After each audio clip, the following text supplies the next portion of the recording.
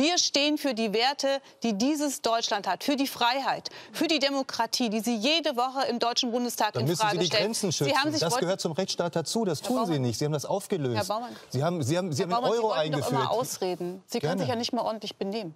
Ich benehme mich wie Sie auch. Sie reden auch dazu. Nee, nee, nee. Ja. Wir sind für Freiheit, für Demokratie auf die Straße gegangen, für ein offenes Land, dass eine Mehrheit in diesem Land für Freiheit und für Demokratie steht und dass eine Mehrheit in diesem Land übrigens nach wie vor findet, dass wir eine humanitäre Flüchtlingspolitik wollen und dass wir sie auch durchführen Ja. werden. Und das werden wir Ihnen zeigen. Rassist in Deutschland bedeutet der größte Völkermord der Geschichte, Millionen Toten.